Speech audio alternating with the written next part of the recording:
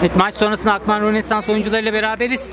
Arkadaşlar müthiş bir maç oldu. Maç içerisinde iniş çıkışlar yaşadınız. Farklı olarak geriye düştünüz ama yine kazanma hırsınız ve kazanma alışkanlığınız da diyebiliriz. Geri dönmeyi başardınız. Mali neler söyleyeceksin? Vallahi abi maçın son dakikalarında 8 dakika vardı hocaya süreyi sorduğunda ve 3-0 gerideydik. Yani 7-4'tü maç. Sonra 8-7 maçı kazanmayı bildik. Sonuna kadar mücadele ettik.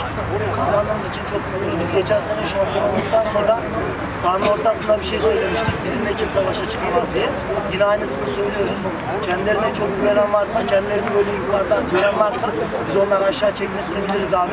Kim varsa buyursun gelsin meydan Ali kardeşimiz var. Peki Ali Erdi sen neler söyleyeceksin? Sahaya çıkıyoruz, futbol oynuyoruz.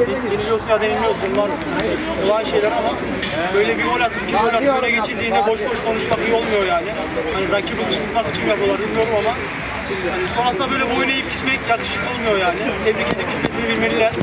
Biz vurup geçeriz yani acımayız ama tebrik etmesini de bilsinler. Böyle boyun eğip geçmek olmaz yani.